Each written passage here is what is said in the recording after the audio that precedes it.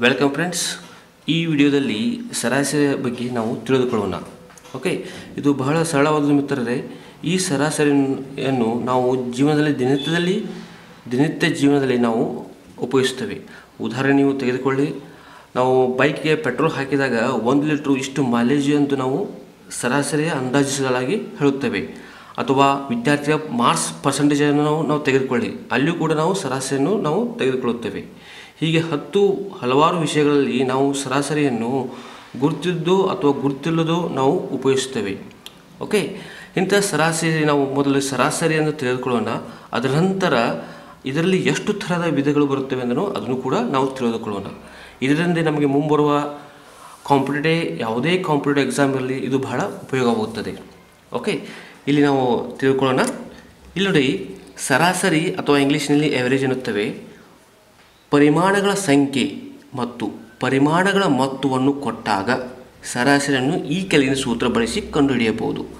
ಸರ್ವೇ ಸಾಮಾನ್ಯವಾಗಿ ನಾವು ಜ, ದಿನನಿತ್ಯ ಜೀವನದಲ್ಲಿ ಈ ಥರದ ಸೂತ್ರವನ್ನು ಉಪಯೋಗಿಸ್ತೇವೆ ಓಕೆ, ಇಲ್ಲಿ ನೋಡಿ ಸರಾಸರಿ ಈಜಿಕೊಟ್ಟು ಪರಿಮಾಣಗಳ ಮೊತ್ತ ಭಾಗಲೇ ಪರಿಮಾಣಗಳ ಸಂಖ್ಯೆ ಕೊಡಲಾಗಿದೆ. ಓಕೆ, ಅಂದರೆ ಪರಿಮಾಣಗಳ ಮೊತ್ತ ಅಂದರೆ ಕೊಟ್ಟಂಥ ಸಂಖ್ಯೆಗಳನ್ನು ಕೂಡಿಸಬಹುದು. ಅದರ ಮೊತ್ತ ಮತ್ತು ಪರಿಮಾಣಗಳ ಸಂಖ್ಯೆ ಅಂದರೆ ಎಷ್ಟು ಸಂಖ್ಯೆಗಳನ್ನು ಕೊಡಲಾಗಿದೆ ಎಂದು ಪರಿಮಾಣಗಳ ಸಂಖ್ಯೆ ಅಂದರೆ ಎಷ್ಟು ಸಂಖ್ಯೆಗಳನ್ನು ಕೊಡಲಾಗಿದೆ ಎಂದು ಸೂಚಿಸುತ್ತದೆ. ಓಕೆ ಇಲ್ಲಿ ನಾವು ಉದಾಹರಣೆ ಸಹಿತ ನೋಡೋಣ ಬನ್ನಿ. ಮೊದಲ ಐದು ಅವಿಭಾಜ್ಯ ಸಂಖ್ಯೆಗಳ ಸರಾಸರಿ ಎಷ್ಟು ಅಂತ ಕೊಡಲಾಗಿದೆ. ಇಲ್ಲಿ ಆಪ್ಷನ್ಸ್ ಕೂಡ ಕೊಡಲಾಗಿದೆ. ಇಲ್ಲಿ ನಾವು ಮೊದಲು ಬರೆದುಕೊಳ್ಳೋಣ. ಮೊದಲ ಐದು ಅವಿಭಾಜ್ಯ ಸಂಖ್ಯೆಗಳು. ಓಕೆ ಅವಿಭಾಜ್ಯ ಮೊದಲ ಐದು ಅಂದರೆ ಎರಡು, ಮೂರು, ಐದು, ಏಳು, ಹನ್ನೊಂದು. ಈ ಸಂಖ್ಯೆಗಳು ಯಾವುದೇ ತನ್ನ ಸಂಖ್ಯೆಯನ್ನು ಬಿಟ್ಟು ಬೇರೆ ಸಂಖ್ಯೆಯಿಂದ ಭಾಗವಾಗುವುದಿಲ್ಲ. ಅದಕ್ಕೆ ಅವಿಭಾಜ್ಯ ಸಂಖ್ಯೆ ಅನ್ನುತ್ತಾರೆ. ಎರಡು, ಮೂರು, ಐದು, ಏಳು ಹನ್ನೊಂದಿದೆ ಇವುಗಳು ಎಷ್ಟು ಈ- ಸರ ಸೂತ್ರವನ್ನು ಕಂಡು ನಾವು ಸರಾಸರಿಯನ್ನು ಉಪಯೋಗಿಸ ಕಂಡುಹಿಡಿಯೋಣ. ಇಲ್ಲಿ ನೋಡಿ, ಸರಾಸರಿ ಈಸ್ ಈಕ್ವಲ್ ಟು ಸರಾಸರಿ ಈಸ್ ಈಕ್ವಲ್ ಟು ಪರಿಮಾಣಗಳ ಮೊತ್ತ ಅಂದರೆ ಈ ಸಂಖ್ಯೆಗಳನ್ನು ಕೂಡಿಸುವನು. ಎರಡು ಪ್ಲಸ್ ಮೂರು ಪ್ಲಸ್ ಐದು ಪ್ಲಸ್ ಏಳು ಪ್ಲಸ್ ಹನ್ನೊಂದು. ಬಾಗಲೇ ಪರಿಮಾಣಗಳ ಸಂಖ್ಯೆ. ಇಲ್ಲಿ ಎಷ್ಟು ಸಂಖ್ಯೆ ಕೊಡಲಾಗಿದೆ? ಒಂದು, ಎರಡು, ಮೂರು, ನಾಲ್ಕು, ಐದು. ಐದಿದೆ. ಓಕೆ? ಇವುಗಳನ್ನು ಕೂಡಿಸಿದರೆ ನಮಗೆ ಇಪ್ಪತ್ತೆಂಟು ಬಾಗಲೇ ಐದು ಬರುತ್ತದೆ. ಇದನ್ನು ಐದರಿಂದ ನಾವು ಭಾಗ, ಭಾಗಿಸಿದರೆ ಐದು ಪಾಯಿಂಟ್ ಆರು. ಅಂದರೆ ಇಲ್ಲಿ ಆಪ್ಷನ್ ಎ ಇಸ್ ಕರೆಕ್ಟ್ ಇದರ ಸರಾಸರಿಯು ಐದು ಪಾಯಿಂಟ್ ಆರು ಬರುತ್ತದೆ. ಇದಾದ ನಂತರ ಸರಾಸರಿ ಎಂದು ನೀವು ತಿಳಿದುಕೊಂಡಿದ್ದೀರಿ. ಇದಾದ ನಂತರ ಮುಂದೆ ಬರುವುದು ಸರಾಸರಿ ವಿಧಗಳು. ಇದರಲ್ಲಿ ಎಷ್ಟು ಪ್ರಕಾರಗಳಿವೆ ಎಂದು ನಾವು ತಿಳಿದುಕೊಳ್ಳೋಣ. ಓಕೆ ಯಾರಾದರೂ ನನ್ನ ಚಾನಲ್ಗೆ ಹೊಸಬರು ಬಂದರೆ ಬಂದಿದ್ದರೆ ನನ್ನ ಚಾನಲ್ ಸಬ್ಸ್ಕ್ರೈಬ್ ಮಾಡಿ. ಸಬ್ಸ್ಕ್ರೈಬರ್ ಇದ್ದರೆ ನನ್ನ ಚಾನಲ್ ವಿಡಿಯೋವನ್ನು ಲೈಕ್ ಮಾಡಿ, ಕಮೆಂಟ್ಸ್ ಕೂಡ ಹಾಕಿ. ಓಕೆ ಈಗ ನಾವು ವಿಧಗಳನ್ನು ನೋಡೋಣ ಬನ್ನಿ. ವಿಧ ಒಂದು, ಸರಾಸರಿಯಲ್ಲಿ ವಿಧ ಒಂದು, ಪರಿಮಾಣಗಳ ಸಂಖ್ಯೆ ಈಜ್ಕೊಟ್ಟು ಪರಿಮಾಣಗಳ ಮೊತ್ತ ಭಾಗಲೇ ಸರಾಸರಿ ಅಂತ ಕೊಡಲಾಗಿದೆ. ಇದೊಂದು ಸೂತ್ರ. ಓಕೆ ಇದು ನಿಮಗೆ ಉದಾಹರಣೆ ಸಹಿತ ಸೊ ವಿವರಿಸ್ತೇನೆ. ಇಲ್ಲಿ ನೋಡಿ ಎಕ್ಸ್ ಸಂಖ್ಯೆಗಳ ಮೊತ್ತ ಮೂವತ್ತು ಮತ್ತು ಅವುಗಳ ಸರಾಸರಿ ಆರು. ಎಕ್ಸ್ನ ಬೆಲೆ ಎಷ್ಟು ಅಂತ ನಾವು ಕಂಡುಹಿಡಿಯಬೇಕು. ಇದು ಬಹಳ ಸರಳವಾದ ಮಿತ್ರರೇ, ಇಲ್ಲಿ ಪರಿಮಾಣಗಳ ಸಂಖ್ಯೆಯನ್ನು ನಾವು ಕಂಡುಹಿಡಿಯಬೇಕು.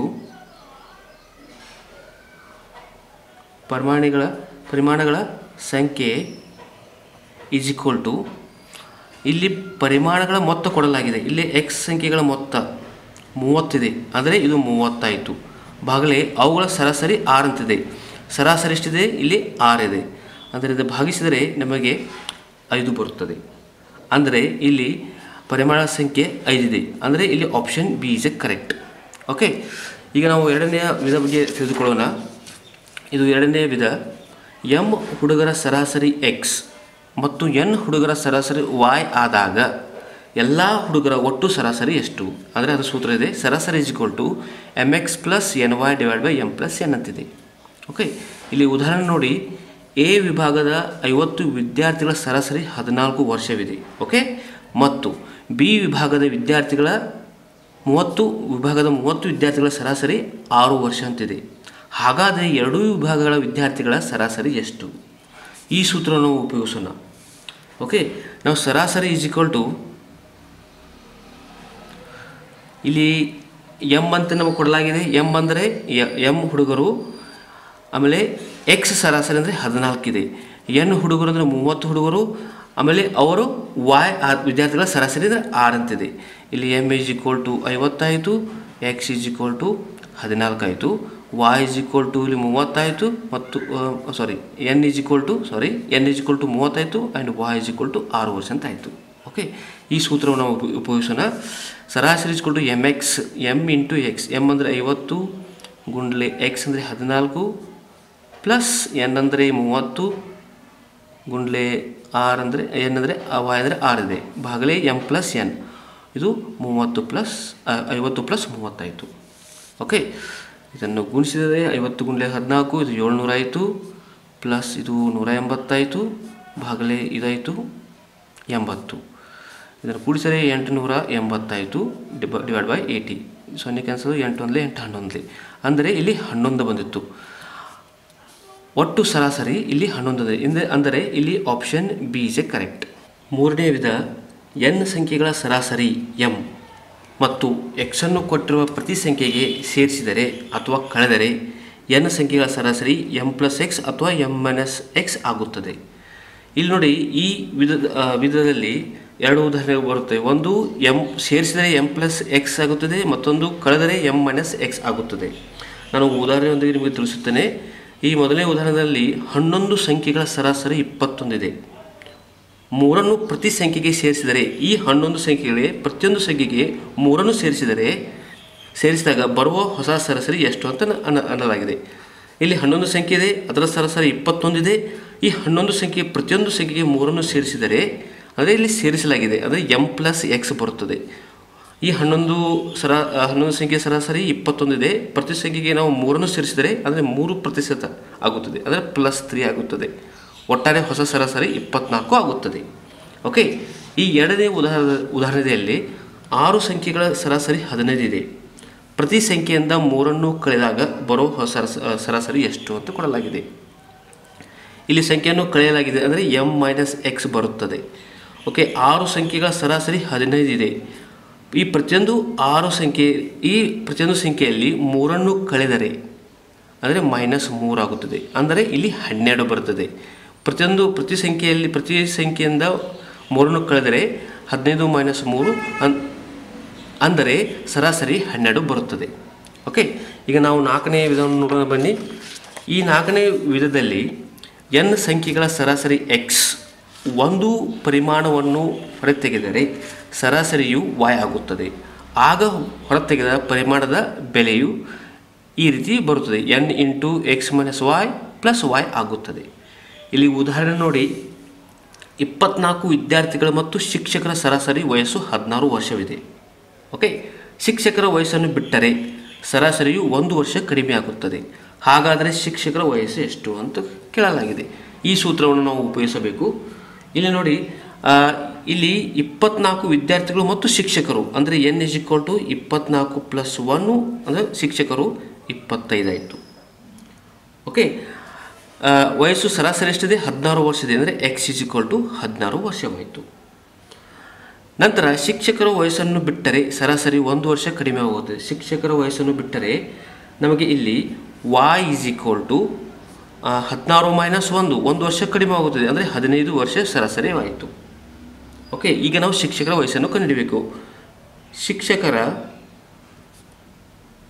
ವಯಸ್ಸು, ಈ ಸೂತ್ರವನ್ನು ನಾವು ಉಪಯೋಗಿಸೋಣ. N into x minus y plus y ಅಂತ ಈ ಸೂತ್ರವನ್ನು ತೆಗೆದುಕೊಳ್ಳೋಣ. ಇಲ್ಲಿ ಎನ್ ಅಂದರೆ ಎಷ್ಟಿದೆ? ಇಲ್ಲಿ ಇಪ್ಪತ್ತೈದಿದೆ ಓಕೆ ಎಕ್ಸ್ ಅಂದರೆ ಹದಿನಾರು ಇದೆ ವಾಯ್ ಅಂದರೆ ಹದಿನೈದು ಇದೆ ಪ್ಲಸ್ ವಾಯ್ ಅಂದರೆ ಇಲ್ಲಿ ಹದಿನೈದು ಇದೆ. ಓಕೆ ಇದಾಯಿತು ಇಪ್ಪತ್ತೈದು, ಇದು ಒಂದು, ಇಪ್ಪತ್ತೈದು ಗುಂಡ್ಲೆ ಒಂದು, ಇಪ್ಪತ್ತೈದು ಆಗುತ್ತೆ ಪ್ಲಸ್ ಹದಿನೈದು. ಇದಾಯಿತು ನಲವತ್ತು. ಅಂದರೆ ಶಿಕ್ಷಕರ ವಯಸ್ಸು ಇಲ್ಲಿ ನಲವತ್ತು ವರ್ಷವಾಯಿತು. ನಿಮಗೆ ಬೇರೆ ಥರ ವಿಡಿಯೋ ಬೇಕಾಗಿದ್ದರೆ ನನ್ನ ಯೂಟ್ಯೂಬ್ನ ಪ್ಲೇಲಿಸ್ಟ್ನಲ್ಲಿ ಹೋಗಿ ಅಥವಾ ಈ ವಿಡಿಯೋ ಡಿಸ್ಕ್ರಿಪ್ಷನಲ್ಲಿ ನೋಡಿ, ನಿಮಗೆ ಎಲ್ಲ ಥರದ ವಿಡಿಯೋ ನಿಮಗೆ ಸಿಗುತ್ತದೆ. ಐದನೇ ವಿಧ ಎನ್ ಸಂಖ್ಯೆಗಳ ಸರಾಸರಿ ಎಕ್ಸ್ ಮತ್ತು ಹೊಸ ಪರಿಮಾಣ ಸರ, ಸೇರಿಸಿದಾಗ ಸರಾಸರಿ ಸರಾಸರಿಯು ವಾಯ್ ಆಗುತ್ತದೆ. ಹೊಸ ಪರಿಮಾಣದ ಬೆಲೆಯು ಈ ರೀತಿಯಾಗಿರುತ್ತದೆ. N into y minus x plus y ಆಗಿರುತ್ತದೆ. ಓಕೆ ಇಲ್ಲಿ ಉದಾಹರಣೆ ನೋಡಿ. ಮೂವತ್ತು ವಿದ್ಯಾರ್ಥಿಗಳ ಸರಾಸರಿ ಹದಿನಾಲ್ಕು ವರ್ಷ. ಶಿಕ್ಷಕರ ವಯಸ್ಸನ್ನು ಸೇರಿಸಿದಾಗ ಸರಾಸರಿಯು ಹದಿನೈದು ಆಗುತ್ತದೆ. ಹಾಗಾದರೆ ಶಿಕ್ಷಕರ ವಯಸ್ಸು ಎಷ್ಟು ಅಂತ ನಾವು ಕಂಡುಹಿಡಿಯಬೇಕು. ಓಕೆ ಇಲ್ಲಿ ನೋಡಿ. ಇಲ್ಲಿ ಮೊದಲಾಗಿ ಮೊದಲು ಕೊಡಲಾಗಿದೆ ಒಟ್ಟು ಮೂವತ್ತು ವಿದ್ಯಾರ್ಥಿಗಳಿದ್ದಾರೆ. ಮೂವತ್ತು ವಿದ್ಯಾರ್ಥಿಗಳು.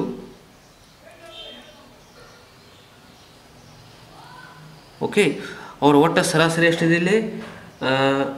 ಇಲ್ಲಿ ಮೂವತ್ತು ವಿದ್ಯಾರ್ಥಿಗಳು ನಾವು ಇಲ್ಲಿ ಎನ್ ಇಕ್ವಲ್ ಟು ಸಾರಿ ಇಲ್ಲಿ ಎನ್ ಇಕ್ವಲ್ ಟು ಮೂವತ್ತನ್ನು ತೆಗೆದುಕೊಳ್ಳೋಣ. ಓಕೆ, ಅವುಗಳ ಸರಾಸರಿ ಎಷ್ಟಿದೆ ಹದಿನಾಲ್ಕು ವರ್ಷ. ಅಂದರೆ ಇಲ್ಲಿ ನಾವು ಎಕ್ಸ್ ಇಕ್ವಲ್ ಟು ಹದಿನಾಲ್ಕು ವರ್ಷ ತೆಗೆದುಕೊಳ್ಳೋಣ. ನಂತರ ಶಿಕ್ಷಕರನ್ನು ಸೇರಿಸಿದಾಗ ಇಲ್ಲಿ ಶಿಕ್ಷಕರನ್ನು ಸೇರಿಸಿದಾಗ ನಮಗೆ ಹದಿನೈದು ವರ್ಷವಾಗುತ್ತದೆ. ಅಂದರೆ ವಾಯ್ ಇಸ್ ಈಕ್ವಲ್ ಟು ಇಲ್ಲಿ ಹದಿನೈದು ಆಯಿತು ಓಕೆ ಈಗ ನಾವು ಹತ್ರ ಪ್ರಿ- ಪರಿಮಾಣದ ಬೆಲೆಯನ್ನು ಕಂಡುಹಿಡಿಯೋಣ. ಶಿಕ್ಷಕರ ವಯಸ್ಸನ್ನು ಕಂಡುಹಿಡಿಯಬೇಕು. ಇಲ್ಲಿ ಶಿಕ್ಷಕರ ವಯಸ್ಸು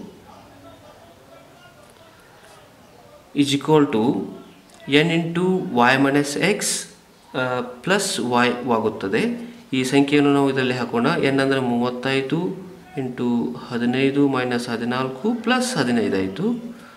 ಇದು ಒಂದಾಯಿತು, ಒಂದು ಗುಂಡ್ಲೆ ಮೂವತ್ತು ಮೂವತ್ತು ಪ್ಲಸ್ ಇದು ಹದಿನೈದು ಆಯಿತು. ಇಲ್ಲಿ ನಲವತ್ತೈದು. ಓಕೆ ಶಿಕ್ಷಕರ ವಯಸ್ಸು ಇಲ್ಲಿ ನಲವತ್ತೈದು ವಯಸ್ಸಾಯಿತು. ಓಕೆ ಇದನ್ನು ಬೇರೆ ಬೇರೆಪಡಿಸಿ ನಾವು ಬೇರೆ ಮುಖಾಂತರ ನಾವು ಈ ಉತ್ತರವನ್ನು ನಾವು ಕಂಡುಹಿಡಬೇಕು. ನಾವು ಮತ್ತೊಂದು ಪದ್ಧತಿ ಪದ್ಧತಿಯನ್ನು ನೋಡೋಣ. ಇದರಲ್ಲಿ ಕೂಡ, ಅಥವಾ ಈ ನಾವು ಮತ್ತೊಂದು ಪದ್ಧತಿಯನ್ನು ಅನುಸರಿಸೋಣ. ಈ ರೀತಿಯನ್ನು ಡೈರೆಕ್ಟ್ ಮಾಡಬಹುದು. ಮೂವತ್ತು ವಿದ್ಯಾರ್ಥಿಗಳ ವಯಸ್ಸು. ಓಕೆ ಮೂವತ್ತು ವಿದ್ಯಾರ್ಥಿಗಳ ವಯಸ್ಸು, ಇಲ್ಲಿ ಮೂವತ್ತು ವಿದ್ಯಾರ್ಥಿಗಳ ಸರಾಸರಿ ಎಷ್ಟಿದೆ? ಅವ್ರದ್ದು ಹದಿನಾಲ್ಕು ಕೊಡಲಾಗಿದೆ. ಒಟ್ಟಾರೆ ಅವರ ವಯಸ್ಸು ಎಷ್ಟಾಯಿತು? ನಾಲ್ಕುನೂರ ಇಪ್ಪತ್ತಾಯಿತು ಓಕೆ ನಂತರ ವಿದ್ಯಾರ್ಥಿಗಳು ಮತ್ತು ಶಿಕ್ಷಕರು. ಮತ್ತು ಶಿಕ್ಷಕರ ಒಟ್ಟು ವಯಸ್ಸು, ಅವರ ವಯಸ್ಸನ್ನು ನಾವು ತೆಗೆದುಕೊಂಡರೆ ಒಟ್ಟು ವಯಸ್ಸು, ಇಲ್ಲಿ ಒಬ್ಬ ಶಿಕ್ಷಕರನ್ನು ಸೇರಿಸಿದಾಗ ಮೂವತ್ತರ ಬದಲಿ ಮೂವತ್ತೊಂದು ಆಯಿತು, ಅವರ ಸರಾಸರಿ ಎಷ್ಟಾಯಿತು? ಹದಿನೈದು ಆಯಿತು ಇಲ್ಲಿ ಗುಣಿಸಿದಾಗ ನಾಲ್ಕುನೂರ ಅರವತ್ತೈದಾಯಿತು ಓಕೆ ಈಗ ನಾವು ಶಿಕ್ಷಕರ ವಯಸ್ಸನ್ನು ಕಂಡುಹಿಡಿಯಬೇಕು. ಶಿಕ್ಷಕರ ವಯಸ್ಸು, ಇಲ್ಲಿ ನಾಲ್ಕುನೂರ ಅರವತ್ತೈದು ಮೈನಸ್ ನಾಲ್ಕುನೂರ ಇಪ್ಪತ್ತು. ಇದರಲ್ಲಿ ಕಳೆಯಬೇಕು ನಮಗೆ ಬರ್ತದೆ ನಲವತ್ತೈದು ವಯಸ್ಸು. ಇಲ್ಲಿ ಶಿಕ್ಷಕರ ವಯಸ್ಸು, ಈ ನಲವತ್ತೈದು ವಯಸ್ಸು. ಈ ರೀತಿಯಾಗಿ ನಾವು ಕಂಡುಹಿಡಿಯೋದು ಅಥವಾ ನಾವು ಈ ರೀತಿಯಾಗಿ ಕೂಡ ಕಂಡುಹಿಡಿಯಬೇಕು. ಇದು ಐದನೇ ವಿಧ. ಈಗ ನಂತರ ನಾವು ವಿಧ ಆರನ್ನು ನೋಡೋಣ ಬನ್ನಿ.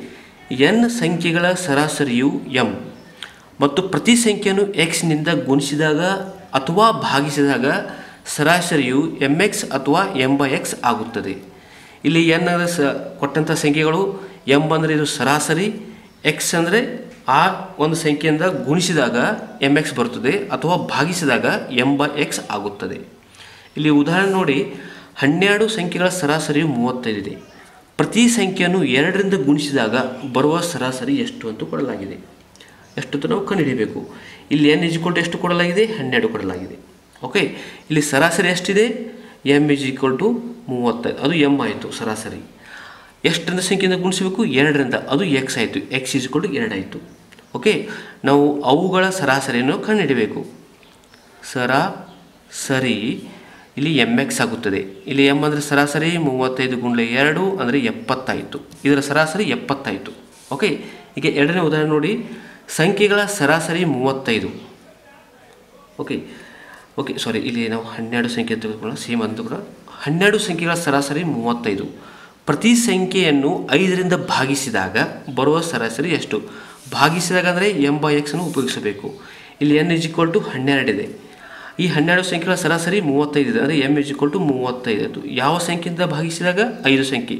ಅಂದರೆ ಇದು ಎಕ್ಸ್ ಇಸ್ ಈಕ್ವಲ್ ಟು ಐದಾಯಿತು ನಾವು ಅವುಗಳ ಸರಾಸರಿ ಇದಾಯಿತು ಎಂ ಬೈ ಎಕ್ಸ್ ಎಂ ಅಂದರೆ ಮೂವತ್ತೈದಾಯಿತು ಎಕ್ಸ್ ಅಂದರೆ ಐದಾಯಿತು ಇದಾಯಿತು. ಗುಣ ಭಾಗಿಸಿದಾಗ ಏಳು ಬರುತ್ತೆ. ಅಂದರೆ ಅವುಗಳ ಸರಾಸರಿ ಏಳು ಬರುತ್ತದೆ. ಏಳನೇ ವಿಧವನ್ನು ನೋಡೋಣ ಬನ್ನಿ. ಎನ್ ವಿದ್ಯಾರ್ಥಿಗಳ ಸರಾಸರಿ ಅಂಕಗಳು ಟಿ. ಪಾಸಾದ ವಿದ್ಯಾರ್ಥಿಗಳ ಸರಾಸರಿ ಅಂಕಗಳು ಪಿ ಮತ್ತು ಫೇಲಾದ ವಿದ್ಯಾರ್ಥಿಗಳ ಸರಾಸರಿ ಎಫ್ ಅಂತಿದೆ. ಆಗ ಪಾಸಾದ ವಿದ್ಯಾರ್ಥಿಗಳ ಸಂಖ್ಯೆ is equal to n into t minus f divide by p minus f ಆಗುತ್ತದೆ. ಟಿ ಅಂದರೆ ಇಲ್ಲಿ ವಿದ್ಯಾರ್ಥಿಗಳ ಸರಾಸರಿ ಸರಾಸರಿಯನ್ನು ಸೂಚಿಸುತ್ತದೆ. ಪಿ ಅಂದರೆ ಪಾಸಾದ ವಿದ್ಯಾರ್ಥಿಗಳ ಸರಾಸರಿ, ಸರಾಸರಿಯನ್ನು ಸೂಚಿಸುತ್ತದೆ. ಎಫ್ ಅಂದರೆ ಫೇಲಾದ ವಿದ್ಯಾರ್ಥಿಗಳ ಸರಾಸರಿಯನ್ನು ಸೂಚಿಸುತ್ತದೆ. ಓಕೆ ಇಲ್ಲಿ ಉದಾಹರಣೆ ನೋಡಿದ್ರೆ ಬನ್ನಿ. ನೂರ ಇಪ್ಪತ್ತು ವಿದ್ಯಾರ್ಥಿಗಳ ಸರಾಸರಿ ಅಂಕಗಳು ಮೂವತ್ತೈದು. ಪಾಸಾದ ವಿದ್ಯಾರ್ಥಿಗಳ ಅಂಕಗಳ ಸರಾಸರಿ ಇಪ್ಪತ್ತು ಮೂವತ್ತೊಂಬತ್ತು. ಮತ್ತು ಫೇಲಾದ ಸರಾಸರಿ, ಫೇಲಾದ ವಿದ್ಯಾರ್ಥಿಗಳ ಸರಾಸರಿ ಹದಿನೈದು ಇದೆ. ಹಾಗಾದರೆ ಪರೀಕ್ಷೆಯಲ್ಲಿ ಪಾಸಾದರ ಸಂಖ್ಯೆ ಎಷ್ಟು ಅಂತ ನಾವು ಕಂಡುಹಿಡಿಯಬೇಕು. ಓಕೆ, ಇದು ಬಹಳ ಸರಳವಾದ ಮಿತ್ರರೇ ಇಲ್ಲಿ ನೋಡಿ, ಇಲ್ಲಿ ಎಷ್ಟು ವಿದ್ಯಾರ್ಥಿಗಳು ಇದ್ದಾರೆ? ನೂರ ಇಪ್ಪತ್ತು ಅಂದರೆ ಎನ್ ಇಜ್ ಈಕ್ವಲ್ ಟು ನೂರ ಇಪ್ಪತ್ತಾಯಿತು ಓಕೆ, ಆ ನೂರ ಇಪ್ಪತ್ತೈದು ವಿದ್ಯಾರ್ಥಿಗಳ ಸರಾಸರಿ ಎಷ್ಟಿದೆ? ಅಂಕಗಳು ಮೂವತ್ತೈದು ಇದೆ. ಅಂದರೆ ಟಿ ಇಜ್ ಈಕ್ವಲ್ ಟು ಇಲ್ಲಿ ಮೂವತ್ತೈದು ಆಯಿತು. ನಂತರ ಪಾಸಾದ ವಿದ್ಯಾರ್ಥಿಗಳ ಅಂಕಗಳ ಸರಾಸರಿ ಮೂವತ್ತೊಂಬತ್ತಿದೆ. ಅಂದರೆ ಪಿ ಇಜ್ ಈಕ್ವಲ್ ಟು ಇಲ್ಲಿ ಮೂವತ್ತೊಂಬತ್ತು ಆಯಿತು ಅದಾದ ನಂತರ ಫೇಲಾದ ವಿದ್ಯಾರ್ಥಿಗಳ ಸರಾಸರಿ ಹದಿನೈದು ಇದೆ. ಅಂದರೆ ಎಫ್ ಇಜ್ ಈಕ್ವಲ್ ಟು ಇಲ್ಲಿ ಹದಿನೈದು ಆಯಿತು. ಓಕೆ, ನಾವು ಈ ಸೂತ್ರವನ್ನು ಉಪಯೋಗಿಸೋಣ. ಪಾಸಾದ ವಿದ್ಯಾರ್ಥಿಗಳ, ಇಲ್ಲಿ ನಾವು ಪಾಸಾದ ವಿದ್ಯಾರ್ಥಿಗಳ ಸರಾಸರಿಯನ್ನು ಕ, ವಿದ್ಯಾರ್ಥಿಗಳನ್ನು ಕಂಡುಹಿಡಬೇಕು. ಪಾಸಾದ ವಿದ್ಯಾರ್ಥಿಗಳ ವಿದ್ಯಾರ್ಥಿಗಳು, ಇಲ್ಲಿ ನಾವು ಸೂತ್ರವನ್ನು ಬರೋಣ n into t minus e f ಬಾಗಲೇ P minus E F ಆಗುತ್ತದೆ. ಓಕೆ, ಇಲ್ಲಿ ಎನ್ ಅಂದರೆ ನೂರ ಇಪ್ಪತ್ತಾಯಿತು ಗುಂಡ್ಲೆ ಟಿ ಅಂದರೆ ಇಲ್ಲಿ ಮೂವತ್ತೈದಿದೆ ಮೈನಸ್ ಎಫ್ ಅಂದರೆ ಇಲ್ಲಿ ಹದಿನೈದಿದೆ ಬಾಗಲೇ ಪಿ ಅಂದರೆ ಮೂವತ್ತೊಂಬತ್ತು ಮೈನಸ್ ಹದಿನೈದು ಆಯಿತು and this is equal to ಇದಾಯಿತು ನೂರ ಇಪ್ಪತ್ತು ಇದು ಆಯಿತು ಇಪ್ಪತ್ತೈದು ಇದು. ನಂತರ ಇದಾಯಿತು ಇಪ್ಪತ್ತ್ನಾಲ್ಕು ಇಪ್ಪತ್ನಾಲ್ಕು ಒಂದಲೇ ಇಪ್ಪತ್ನಾಲ್ಕು, ಐದಲೇ, ಐದು ಗುಂಡ್ಲೆ ಇಪ್ಪತ್ತು, ಇದು ನೂರು. ಪಾಸಾದ ವಿದ್ಯಾರ್ಥಿಗಳು ನೂರು ವಿದ್ಯಾರ್ಥಿಗಳಿದ್ದಾರೆ. ಓಕೆ ಈಗ ಮುಂದಿನ ವಿಧ ನೋಡೋಣ. ಎಂಟನೇ ವಿಧ. ಇಲ್ಲಿ ನೋಡಿ ಎಂಟನೆಯ ವಿಧ. ಫೇಲಾದ ವಿದ್ಯಾರ್ಥಿಗಳನ್ನು ಕಂಡುಹಿಡಿಯುವುದು. ಫೇಲಾದ ವಿದ್ಯಾರ್ಥಿಗಳು ಈಸ್ ಈಕ್ವಲ್ ಟು ಒಟ್ಟು ವಿದ್ಯಾರ್ಥಿಗಳು ಇಂಟು ಪಾಸಾದ ಸರಾಸರಿ ಮೈನಸ್ ಒಟ್ಟು ಸರಾಸರಿ, ಬಾಗಲೇ ಪಾಸಾದ ಸರಾಸರಿ ಮೈನಸ್ ಫೇಲಾದ ಸರಾಸರಿ. ಅಂದರೆ ಏನಂದರೂ ಒಟ್ಟು ವಿದ್ಯಾರ್ಥಿಗಳನ್ನು ಸೂಚಿಸುತ್ತದೆ. ಪಿ ಇದು ಪಾಸಾದ ವಿದ್ಯಾರ್ಥಿಗಳ ಸರಾಸರಿಯನ್ನು ಸೂಚಿಸುತ್ತದೆ. ಓಕೆ, ಎಫ್ ಇದು ಫೇಲಾದ ವಿದ್ಯಾರ್ಥಿಗಳನ್ನು ಸರಾಸ ಸರಾಸರಿ ಸೂಚಿಸುತ್ತದೆ. ಕ್ಯಾಪಿಟಲ್ ಟಿ ಇದು ಒಟ್ಟು ಸರಾಸರಿಯನ್ನು ಸೂಚಿಸುತ್ತದೆ. ಇಲ್ಲಿ ಉದಾಹರಣೆ ನೋಡಿ. ಒಂದು ಪರೀಕ್ಷೆಯಲ್ಲಿ ಒಂದು ಪರೀಕ್ಷೆಯಲ್ಲಿ ನೂರ ಎಂಟು ವಿದ್ಯಾರ್ಥಿಗಳು ಅಂಕಗಳ ಸರಾಸರಿ ಇಪ್ಪತ್ತು, ಪಾಸಾದ ವಿದ್ಯಾರ್ಥಿಗಳ ಸರಾಸರಿ ಅಂಕಗಳು ಇಪ್ಪತ್ತೆಂಟು ಮತ್ತು ಫೇಲಾದ ವಿದ್ಯಾರ್ಥಿಗಳ ಅಂಕಗಳ ಸರಾಸರಿ ಹದಿನಾರು. ಹಾಗಾದರೆ ಫೇಲಾದ, ಫೇಲಾದರ ಸಂಖ್ಯೆ ಎಷ್ಟು ಅಂತೂ ನಾವು ಕಂಡುಹಿಡಿಯಬೇಕು. ಓಕೆ ಇಲ್ಲಿ ನೋಡಿ ಎನ್ ಇಸ್ ಈಕ್ವಲ್ ಟು ಒಟ್ಟಾರೆ ನೂರ ಎಂಟು ವಿದ್ಯಾರ್ಥಿಗಳಿದ್ದಾರೆ. ಓಕೆ ಪಾಸಾದ ವಿದ್ಯಾರ್ಥಿಗಳ ಸರಾಸರಿ ಇಪ್ಪತ್ತೆಂಟಿದೆ. ಆಮೇಲೆ ನಂತರ ಆ ನೂರ ಎಂಟು ವಿದ್ಯಾರ್ಥಿಗಳ ಅಂಕಗಳ ಸರಾಸರಿ ಇಪ್ಪತ್ತಿದೆ. ಅಂದರೆ ಟಿ ಈಜ್ ಕೊಟ್ಟು ಇಲ್ಲಿ ಇಪ್ಪತ್ತಾಯಿತು. ಓಕೆ ಮತ್ತು ಫೇಲಾದ ವಿದ್ಯಾರ್ಥಿಗಳ ಸರಾಸರಿ ಇಲ್ಲಿ ಹದಿನಾರಿದೆ ಓಕೆ ನಾವು ಈ ಸೂತ್ರವನ್ನು ಉಪಯೋಗಿಸೋಣ. ಫೇಲಾದ ವಿದ್ಯಾರ್ಥಿಗಳನ್ನು ಕಟ್ಟಿಡಬೇಕಾಗಿದೆ. ಓ ಸಾರಿ ಸಾರಿ ಫೇಲಾದ ವಿದ್ಯಾರ್ಥಿಗಳ ವಿದ್ಯಾರ್ಥಿಗಳು is equal to n into p minus t divide by p minus f ಆಗುತ್ತದೆ. ಓಕೆ ಇಲ್ಲಿ ಎನ್ ಅಂದರೆ ನೂರ ಎಂಟು ವಿದ್ಯಾರ್ಥಿಗಳಿದ್ದಾರೆ. ಪಿ ಅಂದರೆ ಇಲ್ಲಿ ಇಪ್ಪತ್ತೆಂಟಿದೆ ಮೈನಸ್ ಟಿ ಟಿ ಅಂದರೆ ಇಲ್ಲಿ ಇಪ್ಪತ್ತಿದೆ ಬಾಗಲೇ ಪಿ ಮೈನಸ್ ಎಫ್ ಇಲ್ಲಿ ಇಪ್ಪತ್ತೆಂಟು ಮೈನಸ್ ಹದಿನಾರಾಯಿತು ಇಲ್ಲಿ ನೂರ ಎಂಟು, ಗುಂಡ್ಲೆ ಇದಾಯಿತು, ಎಂಟು ಬಂದಿತ್ತು, ಬಾಗಲೇ ಇಪ್ಪತ್ತೆಂಟು ಮೈನಸ್ ಹದಿನಾರು, ಇದಾಯಿತು ಹನ್ನೆರಡು. ಹನ್ನೆರಡು ಅಂದಲೇ ಇದು ಹನ್ನೆರಡು ಒಂಬತ್ತಲೆ. ಎಂಟು ಒಂಬತ್ತಲೆ ಎಪ್ಪತ್ತೆರಡು. ಫೇಲಾದ ವಿದ್ಯಾರ್ಥಿಗಳು ಇದು ಎಪ್ಪತ್ತೆರಡು ಆಯಿತು. ಇಲ್ಲಿ ಒಂಬತ್ತನೇ ವಿಧಾನ ನೋಡೋಣ ಬನ್ನಿ. ಎನ್ ಫಲಿತಾಂಶಗಳ ಸರಾಸರಿಯು ಎ. ಇಲ್ಲಿ ಎನ್ ಬೆಸ ಸಂಖ್ಯೆ ಇದ್ದಾಗ ಮತ್ತು ಮೊದಲು n plus one by two ಫಲಿತಾಂಶಗಳ ಸರಾಸರಿ ಪಿ ಮತ್ತು ಕೊನೆಯ n plus one by two ಫಲಿತಾಂಶ ಸರಾಸರಿ ಸಿ ಆದಾಗ ಎನ್ ಪ್ಲಸ್ ಒನ್ ಫಲಿತಾಂಶ is equal to ಇದಾಗುತ್ತದೆ. N plus one divide by two into b plus c close the bracket minus n a ಅಂತ ಬರುತ್ತದೆ. ಓಕೆ ಈಗ ಉದಾಹರಣೆ ಒಂದಿಗೆ ನೋಡೋಣ ಬನ್ನಿ. ಹದಿನೈದು ಫಲಿತಾಂಶಗಳ ಸರಾಸರಿ ನಲವತ್ತೈದಿದೆ ಮೊದಲ ಒಂಬತ್ತು ಫಲಿ, ಫಲಿತಾಂಶಗಳ ಸರಾಸರಿ ಐವತ್ತೊಂದು ಮತ್ತು ಕೊನೆಯ ಒಂಬತ್ತು ಫಲಿತಾಂಶಗಳ ಸರಾಸರಿ ಮೂವತ್ತಾರು ಇದೆ. ಹಾಗಾದರೆ ಒಂಬತ್ತನೇ ಫಲಿತಾಂಶ ಎಷ್ಟು ಅಂತ ನಾವು ಕಂಡುಹಿಡಿಯಬೇಕು. ಇದು ಬಹಳ ಸರಳವಾದ ಮಿತ್ರರೇ, ಇಲ್ಲಿ ಎನ್ನು ಎ ಬಿ ಸಿ ಯಾವುದನ್ನು ಮೊದಲು ನೋಡೋಣ. ಎನ್ ಅಂದರೆ ಹದಿನೇಳು ಫಲಿತಾಂಶಗಳನ್ನು ಕೊಡಲಾಗಿದೆ. ಇಲ್ಲಿ ಎನ್ ಇಸ್ ಹದಿನೇಳು ಫಲಿತಾಂಶ. ಓಕೆ ನಂತರ ಫಲಿತ ಹದಿನೇಳು ಫಲಿತಾಂಶ ಸರಾಸರಿ ನಲವತ್ತೈದು. ಅಂದರೆ ಇದು ಎ ಈಜ್ ಈಕ್ವಲ್ ಟು ನಲವತ್ತೈದು. ಮೊದಲನೆಯದು. ಮೊದಲನೆಯ ಒಂಬತ್ತು ಫಲಿತಾಂಶ ಸರಾಸರಿ ಐವತ್ತೊಂದು, ಐವತ್ತೊಂದಿದೆ. ಓಕೆ ಮೊದಲನೆಯದು. ಮೊದಲು ಒಂಬತ್ತು ಫಲಿತಾಂಶ ಸರಾಸರಿ, ಅಂದರೆ ಬಿ ಈಜ್ ಈಕ್ವಲ್ ಟು ಇಲ್ಲಿ ಐವತ್ತೊಂದು ಆಯಿತು ಓಕೆ ನಂತರ ಮತ್ತು ಕೊನೆಯ ಒಂಬತ್ತು ಫಲಿತಾಂಶ ಸರಾಸರಿ ಮೂವತ್ತಾರಿದೆ, ಅಂದರೆ ಸಿ ಈಜ್ ಈಕ್ವಲ್ ಟು ಇದು ಮೂವತ್ತಾರಾಗುತ್ತದೆ ಈ ಸೂತ್ರದಲ್ಲಿ ನಾವು ಹಾಕೋಣ. ಓಕೆ ನಾವು ಫೋರ್ ಒಂಬತ್ತನೇ ಫಲಿತಾಂಶ ಈಸ್ ಈಕ್ವಲ್ ಟು ಮೊದಲ ಸೂತ್ರವನ್ನು ಬರೆದುಕೊಳ್ಳೋಣ. ಒಂದ್ಲೇ b plus c minus n a ಅಂತ ತೆಗೆದುಕೊಳ್ಳೋಣ. ಓಕೆ ಇಲ್ಲಿ ಎನ್ ಅಂದರೆ ಎಷ್ಟಿದೆ? ಹದಿನೇಳು ಇದೆ. ಹದಿನೇಳು ಪ್ಲಸ್ ಒಂದು, ಹದಿನೆಂಟು ಬಾಗಿಲ ಎರಡಾಯಿತು ಓಕೆ ಬಿ ಅಂದರೆ ಇಲ್ಲಿ ಐವತ್ತೊಂದಿದೆ ಪ್ಲಸ್ ಸಿ ಅಂದರೆ ಇಲ್ಲಿ ಮೂವತ್ತಾರು ಇದೆ. ಮೈನಸ್ ಎನ್ ಎ ಹದಿನೇಳು ಗುಂಡ್ಲೆ ಹದಿನೇಳು ಗುಂಡ್ಲೆ ಎ ಅಂದರೆ ನಲವತ್ತೈದು ಇದು ನಲವತ್ತೈದು ಆಯಿತು ಓಕೆ? ಇದಾಯಿತು. ಒಂಬತ್ತು ಗುಂಡ್ಲೆ ಇದನ್ನು ಕೂಡಿಸಿದರೆ ಎಂಬತ್ತೇಳು ಆಗುತ್ತದೆ. ಮೈನಸ್ ಇದನ್ನು ಗುಣಾಕಾರ ಮಾಡಿದರೆ ಇದು ಏಳ್ನೂರ ಅರವತ್ತೈದು ಆಯಿತು ಇದನ್ನು ಗುಣಾಕಾರ ಮಾಡಿದರೆ ಇದು ಏಳ್ನೂರ ಎಂಬತ್ತ್ಮೂರು ಮೈನಸ್ ಏಳ್ನೂರ ಅರವತ್ತೈದು ಆಯಿತು ಅಂದರೆ ಇಲ್ಲಿ ಒಂಬತ್ತನೇ ಫಲಿತಾಂಶ ಹದಿನೆಂಟು ಬರುತ್ತದೆ. ಈಗ ಇದು ಒಂಬತ್ತನೇ ಪದ್ಧತಿ. ಈಗ ನಾವು ಹತ್ತನೆಯ ಪದ್ಧತಿ ನೋಡೋಣ. ಇದು ಹತ್ತನೆಯ ವಿಧ. ಒಬ್ಬ ಬ್ಯಾಟ್ಸ್ಮನ್ ತನ್ನ ಎಂಥ ಇನ್ನಿಂಗ್ಸ್ನಲ್ಲಿ ಅವನ ಸ್ಕೋರ್ ಎಕ್ಸ್ ಆದರೆ ಮತ್ತು ಅವನ ಸರಾಸರಿ ವಾಯ್ನಷ್ಟು ಜಾಸ್ತಿ ಆದರೆ ಆಗ ಅವನ ಸರಾಸರಿ ಎನ್ ಇನ್ನಿಂಗ್ಸ್ಗಳ ನಂತರ ಎಷ್ಟಾಗುತ್ತದೆ? ಅಂದರೆ ಇದು ಸೂತ್ರ ಕೊಡಲಾಗಿದೆ. X minus y into n minus one ಸೂತ್ರ ಕೊಡಲಾಗಿದೆ. ಇಲ್ಲಿ ಉದಾಹರಣೆ ನೋಡಿ. ಒಬ್ಬ ಬ್ಯಾಟ್ಸ್ಮನ್ ತನ್ನ ಹದಿನಾರನೇ ಇನ್ನಿಂಗ್ಸ್ನಲ್ಲಿ ತೊಂಬತ್ತೆರಡು ಸ್ಕೋರ್ ಮಾಡಿದ್ದಾನೆ. ಮತ್ತು ಅವನ ಸರಾಸರಿ ನಾಲ್ಕರಿಂದ ಜಾಸ್ತಿ ಆಗಿದೆ. ಹಾಗಾದರೆ ಹದಿನಾರನೇ ಇನ್ನಿಂಗ್ಸಿನ ನಂತರ ಅವನ ಸರಾಸರಿ ಎಷ್ಟು ಅಂತ ನಾವು ಕಂಡುಹಿಡಿಬೇಕು. ಓಕೆ ಇಲ್ಲಿ ಎಕ್ಸ್ ಇಸ್ ಈಕ್ವಲ್ ಟು ತೊಂಬತ್ತೆರಡರನ್ನು ಕೊಡಲಾಗಿದೆ ಸ್ಕೋರ್ ಮಾಡಿದ್ದು. ಓಕೆ ಎನ್ ಏನಂದರೆ ಹದಿನಾರನೇ ಇನ್ನಿಂಗ್ಸ್ ಆಯಿತು. ಎಷ್ಟು ಜಾಸ್ತಿ ಆಯಿತು? ನಾಲ್ಕರಿಂದ ಜಾಸ್ತಿ ಆಯಿತು. ಅಂದರೆ ಇಲ್ಲಿ ವಾಯ್ ಇಸ್ ಈಕ್ವಲ್ ಟು ನಾಲ್ಕನ್ನು ತೆಗೆದುಕೊಳ್ಳಲಾಗಿದೆ. ಇದು ಇದರ ಸರಾಸರಿಯು ಇದಾಗುತ್ತೆ ಸೂತ್ರ ಬರೆಯೋಣ. X minus y into n minus one ಈ ರೀತಿಯಾಗಿ ಬರೋದನ್ನು ಎಕ್ಸ್ ಅಂದರೆ ಇಲ್ಲಿ ತೊಂಬತ್ತೆರಡಾಯಿತು ಮೈನಸ್ ವೈ ಅಂದರೆ ಇಲ್ಲಿ ನಾಲ್ಕಾಯಿತು ಎನ್ ಮೈನಸ್ ಒನ್ ಅಂದರೆ ಹದಿನಾರು ಮೈನಸ್ ಒನ್ ಹದಿನಾರು ಮೈನಸ್ ಒನ್ ಆಯಿತು. ಓಕೆ ಇದಾಯಿತು ತೊಂಬತ್ತೆರಡು ಮೈನಸ್ ಇದು ಹದಿನೈದು ಗುಂಡ್ಲೆ ನಾಲ್ಕು, ಇದಾಯಿತು ಅರವತ್ತು. ಅಂದರೆ ಅವನ ಸರಾಸರಿ ಮೂವತ್ತೆರಡು ಆಗುತ್ತದೆ. ಹನ್ನೊಂದನೆಯ ವಿಧ. ಒಬ್ಬ ಕ್ರಿಕೆಟಿಗ ಎನ್ ಇನ್ನಿಂಗ್ಸ್ ಮುಗಿಸಿದ್ದಾನೆ ಮತ್ತು ಅವನ ಸರಾಸರಿ ಎಕ್ಸ್ ರನ್ ಎಕ್ಸ್ ಆಗಿದೆ. ಅವನು ತನ್ನ ಸರಿ ಸರಾಸರಿಯನ್ನು ವಾಯ್ನಷ್ಟು ಹೆಚ್ಚಿಸಲು ಎಷ್ಟು ರನ್ನುಗಳನ್ನು ಮುಂದಿನ ಇನ್ನಿಂಗ್ಸ್ನಲ್ಲಿ ಹೊಡೆಯಬೇಕು? ಒಬ್ಬ ಕ್ರಿಕೆಟರ್ನ ಸರಾಸರಿ ಇಲ್ಲಿ ಎನ್ ಅಂತಿದೆ ಎನ್ ಇನ್ನಿಂಗ್ಸ್ನಲ್ಲಿ ಅವನ ಸರಾಸರಿ ಎಕ್ಸ್ ಅಂತಿದೆ. ಅವನು ಸರಾಸರಿ ಹೆಚ್ಚಿಸಲು, ಅಂದರೆ ಮುಂದಿನ ಸರಾಸರಿ ಹೆಚ್ಚಿಸಲು ಅವನು ಎಷ್ಟು ರನ್ನನ್ನು ಹೊಡಿಬೇಕು ಅನ್ನೋದು ಈ ಸೂತ್ರ ಕೊಡಲಾಗಿದೆ. ಇಲ್ಲಿ n into y minus x plus y ಅಂತಿದೆ. ಓಕೆ ಇಲ್ಲಿ ಉದಾಹರಣೆ ನೋಡಿ, ಒಬ್ಬ ಕ್ರಿಕೆಟ್ಗೆ ಹತ್ತು ಇನ್ನಿಂಗ್ಸ್ಗಳನ್ನು ಮುಗಿಸಿದ್ದಾನೆ.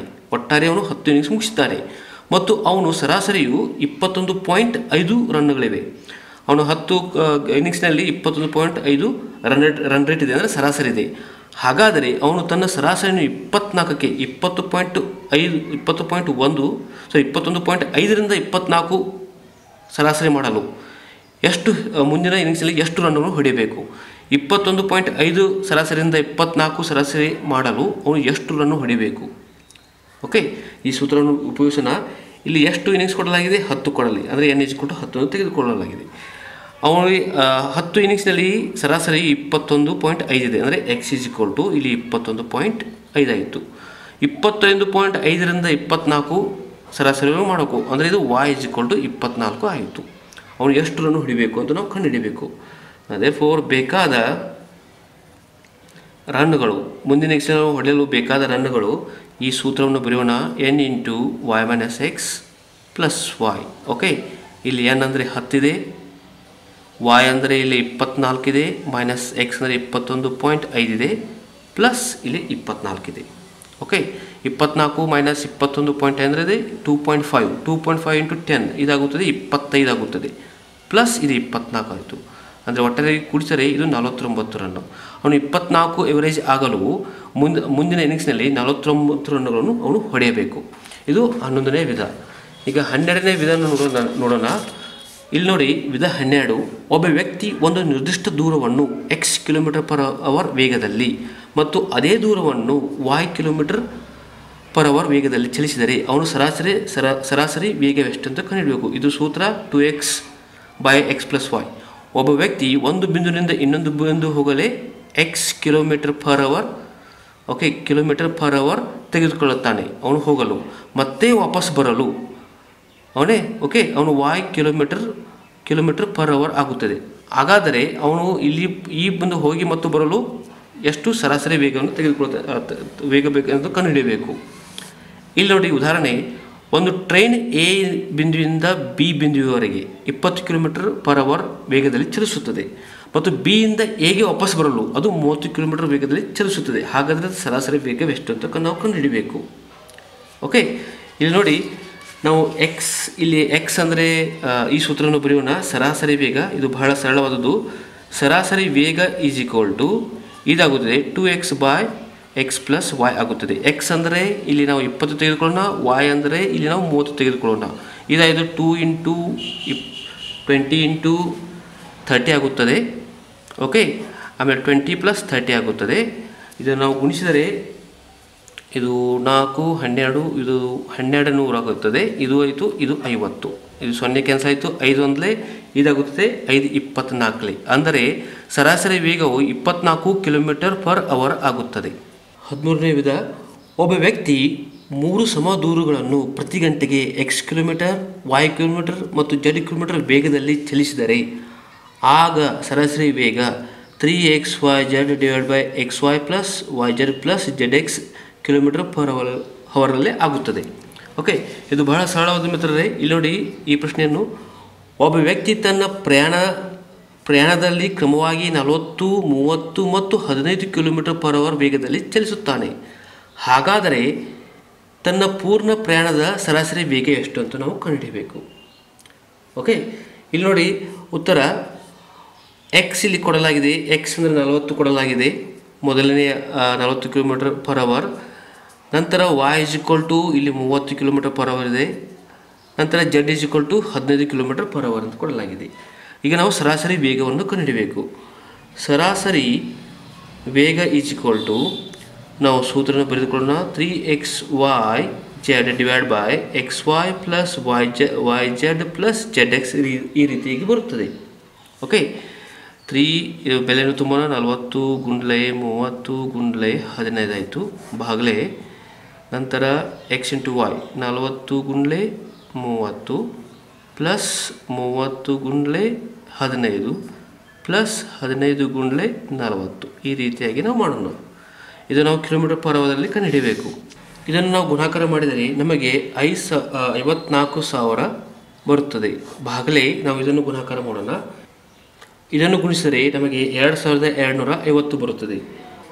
ಐವತ್ನಾಲ್ಕು ಸಾವಿರ ಬಾಗಲೇ ಎರಡು ಸಾವಿರದ ಎರಡುನೂರ ಐವತ್ತರಿಂದ ಗುಣಿಸಿದರೆ ಭಾಗಿಸಿದರೆ ನಮಗೆ ಬರೋದು ಇಪ್ಪತ್ತ್ನಾಲ್ಕು ಅಂದರೆ ಇದರ ಸರಾಸರಿ ಇದರ ಸರಾಸರಿ ವೇಗವು ಇಪ್ಪತ್ನಾಲ್ಕು ಕಿಲೋಮೀಟರ್ ಪರ್ ಅವರ್ ಆಗುತ್ತದೆ.